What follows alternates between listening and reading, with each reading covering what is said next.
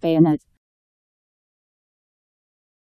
A pointed instrument of the dagger kind fitted on the muzzle of a musket or rifle, so as to give the soldier increased means of offense and defense. Originally, the bayonet was made with the handle, which required to be fitted into the bore of the musket after the soldier had fired